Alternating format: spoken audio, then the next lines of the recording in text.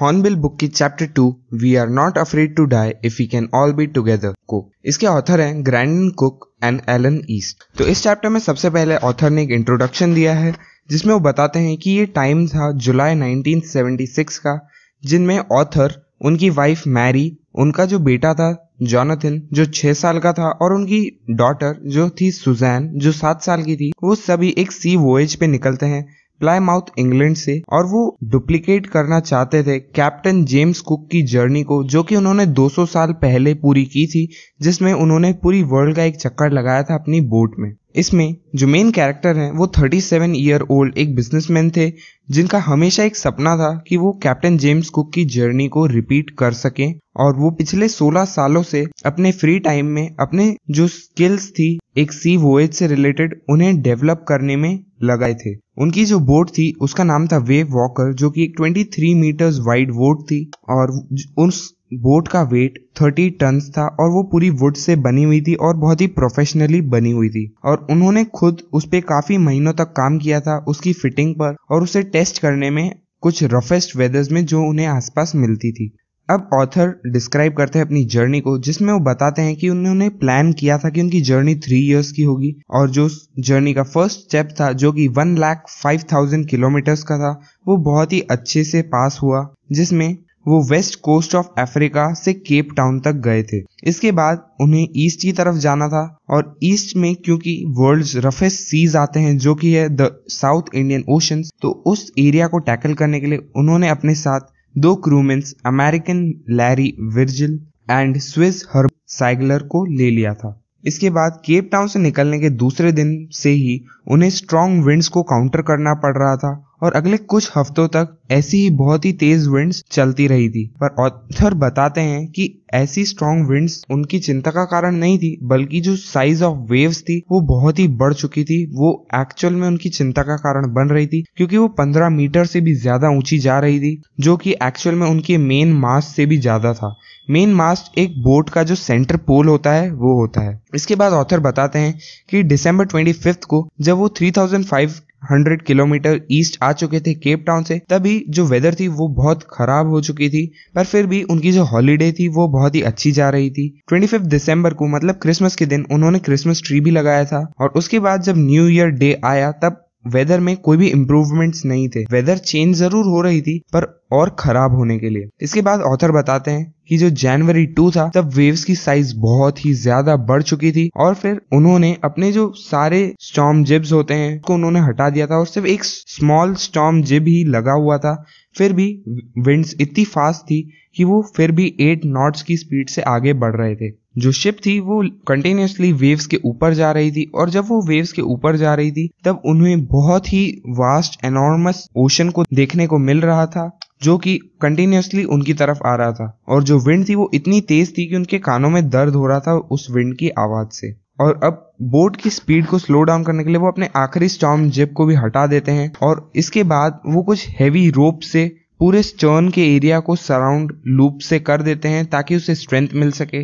Stern का मतलब होता है rear part of the ship इसके बाद वो सभी चीज़ों को डबल लैश कर देते हैं मतलब अच्छे से बाँध देते हैं और उसके बाद वो अपने लाइफ राफ्ट ड्रिल को भी चेक कर लेते हैं और जो लाइफ लाइन्स होती है मतलब जो रोप्स होती है, उसको अपने आप से अटैच कर लेते हैं ताकि बाद में कुछ ज़्यादा दिक्कत नहीं हो। और साथ ही में वो लाइफ जैकेट्स भी पहन लेते हैं और फिर इंतज़ार करने लगते हैं। इसके बाद आता है फ़र्स्ट डिजास्टर जिसमें शाम के छह बजे बिल्कुल सन्नाटा हो जाता है। विंड स्पीड बहुत गिर जाती है और जो स्काई होता है वो बिल्कुल डार्क हो जाता है। तभी उन्हें दिखता है कि उनकी तरफ़ एक बहुत बड़ा क्लाउड आ रहा है। पर जब वो क्लाउड बहुत पास आता है, तब उन्हें पता चलता है कि एक्चुअल में कोई क्लाउड नहीं है, बल्कि एक बहुत ही बड़ी वेव थी, जो कि एक्चुअल में डबल थी पुरानी वेव्स के कंपैरिजन में, जो उन्हें बहुत बड़ी लग रही थी। और वो बिल्कुल ही सीधी थी और वो सीधा आके उनकी शिप से टकरा जाती है। पहले तो ऑथर को लगता है कि उनकी शिप जो है वो उस वेव से निकल जाएगी, पर बाद में बहुत ही जोरदार धमाका होता है। और उससे उनका डेक पूरी तरीके से टूट जाता है। जो वाटर होता है, वो पूरी तरीके से उनकी शिप के अंदर आने लगता है। और जो ऑथर है, उनका जो सर है, वो सीधा जाके व्हील से टकराता है। जो व्हील होता है डायरेक्शन देने के लिए एक बोट में। और उसके बाद वो सीधा अपनी शिप से बाहर गिर जाते हैं और वेव्स में डूबने लगते हैं। उन्हें लगता है कि उनकी डेथ बहुत ही नज़दीक है और वो कॉन्शियसनेस भी लूज करने लगते हैं। तभी एकदम से वो पानी के बाहर आते हैं। जब वो वेव वॉकर से कुछ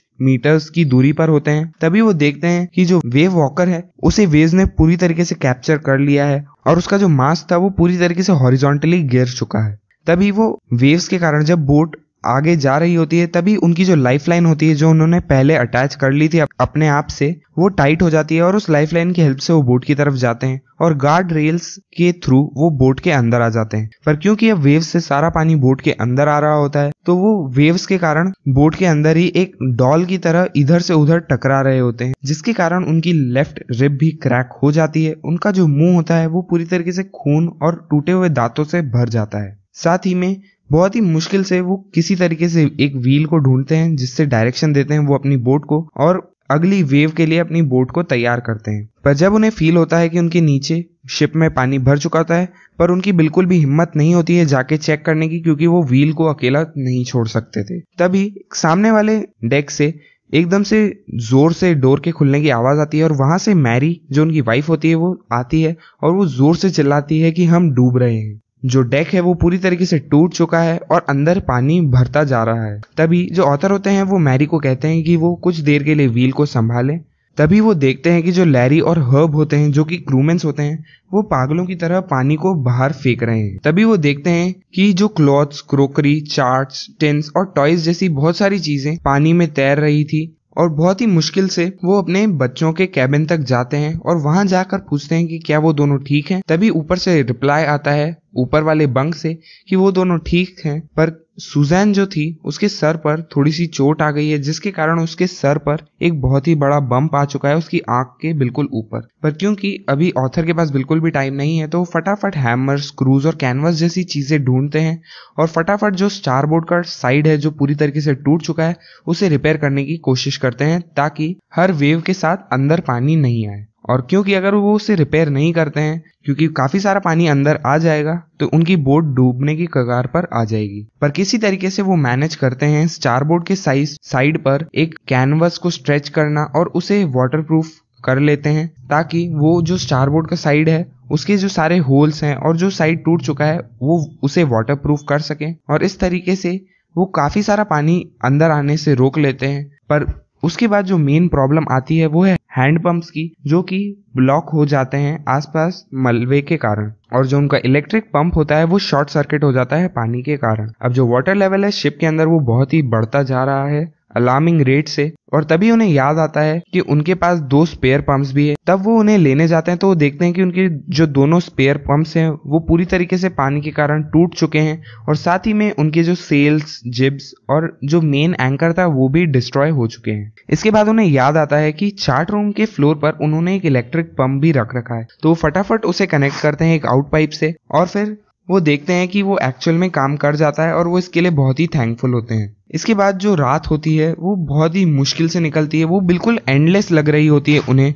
वो बहुत ही ठंड का टाइम होता है और वो पूरी रात पानी को बाहर फेंकने में ही लगा देते हैं। और साथ ही में वो पूरी रात मेडे कॉल्स पर रिप्लाईज को गेन करने की कोशिश करते हैं, पर क्योंकि वो एक बहुत ही रिमोट एरिया में होते हैं मतलब उनके आसपास कोई भी नहीं होता है, वो बहुत ही रिमोट कॉर्नर में वर्ल्ड के तो उन्हें कोई सरप्राइज़ नहीं होता है कि उन्हें कोई भी रिप्लाई नहीं मिल रहा है मेडे कॉल्स का। मेडे कॉल्स का मतलब होता है कि जब कोई शिप किसी प्रॉब्लम में फंस जाती है तो वो हेल्प के लिए दूसरी शिप्स को अप्रोच करने के लिए मेडे कॉल्स देते हैं। साथ ही में जो सुजैन थी, उसके सर पर एक बम्प आ गया था, वो काफ़ी ज़्यादा बड़ा हो चुका था और उसकी आईज जो थी, वो पूरी तरीके से ब्लैक हो गई थी। साथ ही में उसके हाथ पर एक बहुत ही डीप कट भी था। जब ऑथर पूछते हैं कि उन्होंने उस कट के बारे में उन्हें पहले क्यों नहीं बताया? तो वो कहती हैं कि वो उन्हें उस टाइम पर जब इतना सब कुछ चल रहा था, तब वो उन्हें और ज़्यादा परेशान नहीं करना चाहती थी जब वो उनकी जान बचा रहे थे। अब टाइम आता है जनवरी थ्री का। सुबह का टाइम होता है। जो पंप्स होते हैं, उनके कारण जो वाटर लेवल था शिप के अंदर, वो कंट्रोल के अंदर आ जाता है और साथ ही में उन लोगों को थोड़ी देर रेस्ट करने को भी मिल जाता है। तभी वो देखते हैं कि जो वाटर लाइन है, उसके आसपास एक बहुत बड़ा लीक होता है। जब वो उसे चेक करते हैं तो उन्हें पता पड़ता है कि जो मेन फ्रेम होता है, उनकी बोर्ड का वो पूरी तरीके से डिस्ट्रॉय हो चुका है और जो उनका पूरा स्टार बोर्ड का सेक्शन है, वो सिर्फ़ कुछ कवर्ड पार्टीशन के ऊपर ही टिका हुआ है। उसके बाद, अब उस इंसिडेंट के 15 आवर्स के बाद जो वेव वॉकर होती है, अब वो इतने अच्छे से नहीं चल पा रही होती क्योंकि वो काफ़ी ज़्यादा डिस्ट्रॉय हो चुकी होती है और अब ऑथर कहते हैं कि अब वो ऑस्ट्रेलिया तक तो नहीं पहुँच पाएँगे। इसीलिए वो अपने चार्ट्स को चेक करते हैं और कैलकुलेट करते हैं कि वहाँ पर आसपास कुछ हंड्रेड किलोमीटर दूर कुछ छोटे छोटे दो आइलैंड्स होते हैं, जिनमें से एक था एल एम्स्टरडेम जो कि एक फ्रेंच साइंटिफिक बेस है। पर जो मेन चैलेंज था उनके लिए, क्योंकि इतने वाइड और वास्ट ओशन में उन्हें एक छोटा सा आइलैंड ढूंढना था, जो कि उनके लिए एक बहुत ही बड़ा चैलेंज था। और साथ ही में जो उनका ऑक्सिलरी इंजन था, वो भी इस वेव के कारण बंद हो चुका था। अब टाइम आता है जनवरी फोर का, और उस वेव को हिट किए हुए 36 आवर हो जाते हैं। तभी से वो पूरे टाइम कंटिन्यूसली पानी को ही बाहर फेंक रहे होते हैं। और अब उनके बोट में सिर्फ़ कुछ सेंटीमीटर्स का ही पानी बचा होता है। पर अब वो कोई भी सेल नहीं लगाते हैं अपने शिप के ऊपर, क्योंकि वो जानते हैं, क्योंकि अगर वो एक सेल लगाएँगे तो उसके कारण जो प्रेशर क्रिएट होगा बोट पर, वो जो उनके मेन मास्ट वो सीधा उनके हल के पार्ट को बाहर की तरफ़ तोड़ देगा। इसीलिए वो सिर्फ़ एक छोटा सा स्टॉम जिब ही लगाते हैं आगे की तरफ़ बढ़ने के लिए। साथ ही में इतने टाइम के बाद मैरी को कुछ कॉर्न बीफ और क्रैकर बिस्किट्स मिलते हैं और वो ऑलमोस्ट दो दिन में पहली बार कुछ खा रहे होते हैं। पर ये रिलैक्सेशन का जो टाइम था वो बहुत ही छोटा था, क्योंकि शाम के चार बजे फिर से ब्लैक क्लाउड्स आने लग जाते हैं और फिर उसके कुछ ही घंटों बाद जो विंड स्पीड है वो फिर 40 नॉट्स तक आ जाती है, जो कि बहुत ही फास्ट विंड्स होती हैं। और जो सी था, उसकी जो वेव्स थी वो फिर ऊँची होने लग जाती है। और जो वेदर थी, वो अगले दिन तक और खराब होने लग जाती है। अब टाइम आता है जनवरी फाइव का, जब उनकी सिचुएशन बिल्कुल होपलेस हो जाती है। उस टाइम पर जो ऑथर होते हैं, वो अपने चिल्ड्रंस के पास जाते हैं। तभी जॉनथन उनसे पूछते हैं कि क्या हम मरने वाले हैं? तभी जो ऑथर होते हैं, वो उन्हें अश्योर करते हैं कि ऐसा कुछ नहीं होगा। पर तभी जॉनथन कहते हैं कि उन्हें कोई डर नहीं है मरने का। क्योंकि वो उनके, अपनी मम्मी और अपनी बहन के साथ, जिसे वो कहते हैं we are afraid of dying if we can all be together you and mommy Sue and I author जब ये सुनते हैं, तब उनके पास कोई वर्ड्स नहीं होते हैं बोलने के लिए। साथ ही में वो बहुत ही डिटरमाइंड हो जाते हैं उस सी से फाइट करने के लिए। और वो सीधा जाते हैं स्टार बोर्ड साइड पर, जो कि काफ़ी वीक हो जाता है तो उसे वो प्रोटेक्ट करने की कोशिश करते हैं। साथ ही में वो इम्प्रोवाइज सी एंकर्स को यूज़ करते हैं और कुछ हैवी नाइलॉन रोप्स को यूज़ करते हैं। कुछ 22 litres plastic barrels of paraffin के साथ आगे आने वाली वेव्स को स्टॉप करने के लिए। उसी दिन शाम को वो अपनी वाइफ मैरी के साथ बैठे होते हैं और वो साथ में हाथ पकड़कर बैठे होते हैं, क्योंकि जो मोशन ऑफ़ वेव्स था, उसके साथ पानी हर वेव के साथ अंदर आता जा रहा था और उन दोनों को लग रहा था कि उनका अंत अब काफ़ी करीब है। पर जो वेव वॉकर होती है, वो स्टॉम से निकल जाती है और अगले दिन जनवरी सिक्स को जो विंड स्पीड होती है, वो भी धीरे होने लग जाती है।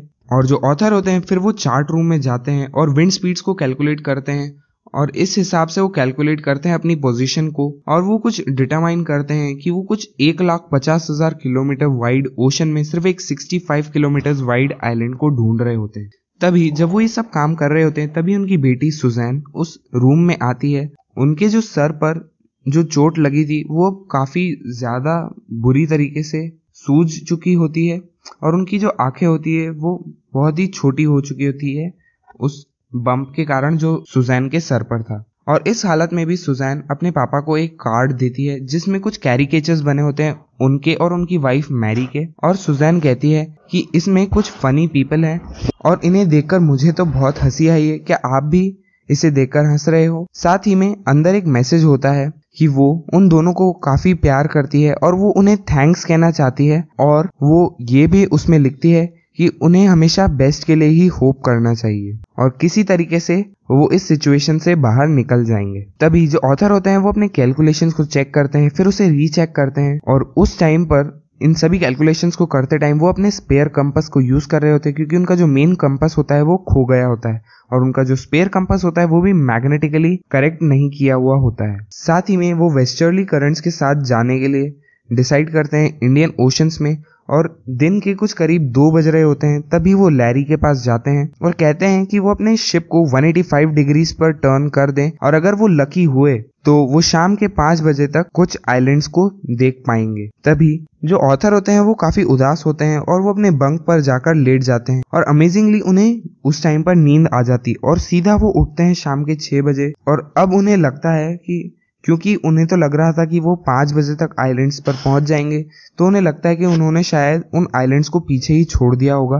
पर तभी उनका जो बेटा होता है जॉनथन वो उनके बंक पर आता है और कहता है कि क्या मैं आपको गले लगा सकता हूँ? और सूजन उसी टाइम उसके पीछे खड़ी होती है। तभी ऑथर होता है, वो उनसे पूछता है कि वो उसे गले क्यों लगाना चाहता है? तभी जॉनथन कंटिन्यू करता है, क्योंकि वो कहता है कि आप इस वर्ल्ड के बेस्ट डैडी हो और बेस्ट कैप्टन हो इस वर्ल्ड के। तभी जो ऑथर होते हैं वो जॉनथन को कहते हैं कि, पर शायद आज मैं बेस्ट कैप्टन नहीं हूँ, क्योंकि शायद हमने उन आइलैंड्स को पीछे ही छोड़ दिया है। पर तभी सुजन कहती है एक फैक्टफुल वॉइस में कि हमें आइलैंड्स मिल गए हैं। तभी ऑथर बहुत ही खुश हो जाते हैं और वो सीधा बाहर जाकर देखते हैं कि जो दोनों आइलैंड्स जो आइलैंड था, वो सीधा उनकी शिप के सामने था और वो आइलैंड उन्हें इतना बड़ा दिख रहा था जैसे कि कोई बैटल शिप हो। और उस टाइम उन्हें सिर्फ़ एक आउटलाइन दिख रही थी एल एम्स्टरडेम की, जो कि एक वॉल्केनिक रॉक का एक छोटा सा पीस है और उस पर बहुत ही थोड़ी सी वेजिटेशन भी थी। पर क्योंकि वो इतने टाइम से उस ओशन में ही घूम रहे थे और इतने टाइम बाद वो किसी लैंड के पीस को देखते हैं तो वो उसे सबसे ब्यूटीफुल आइलैंड लगता है इस वर्ल्ड का। तो उस रात वो ऑफ़ शोर ही रुकते हैं और अगले दिन सुबह वो उस आइलैंड पर उतरते हैं। तभी उस आइलैंड के पूरे 28 इनहेबिटेंट्स उन्हें हेल्प करते हैं शोर पर आने के लिए। जब ऑथर अपने पैरों के नीचे इतने टाइम बाद ज़मीन को देखते हैं तो उनके जो थॉट्स थे, वो पूरी तरीके से लैरी हर्ब से भर जाते हैं और वो उनके बारे में सोचते हैं कि ऐसी सिचुएशंस में भी, ऐसी स्ट्रेसफुल सिचुएशंस में भी वो इतने चेयरफुल और ऑप्टिमिस्टिक रहे। उनकी जो वाइफ थी, उन्होंने उन क्रूशियल आवर्स में जब वेव ने हिट किया था तब पूरे टाइम व्हील को संभाला और साथ ही में सबसे ज़्यादा वो सोचते हैं अपनी बेटी के बारे में, जो कि एक सात साल की लड़की थी और उन्होंने इसलिए अपनी चोट के बारे में अपने पापा को नहीं बताया क्योंकि वो परेशान हो जाते हैं ऐसे टाइम में। और साथ ही में वो अपने बेटे, जो कि छह साल का था जॉनथन उसके बारे में भी सोचते हैं क्योंकि वो एक ऐसा लड़का था जो उस टाइम पर उन्हें कहता है कि उन्हें मरने का भी कोई डर नहीं है। साथ ही में ऑथर ये भी बताते हैं कि जो उनकी बेटी थी, उनके सर पर जो इंजरी थी उसे ठीक होने में छह छोटे ऑपरेशंस लगते हैं, जिससे वो रेकरिंग ब्लड क्लॉट को हटाते हैं उनके स्कल और उनकी स्किन के बीच में। तो इसी के साथ खत्म होता है ये chapter we are not afraid to die if we all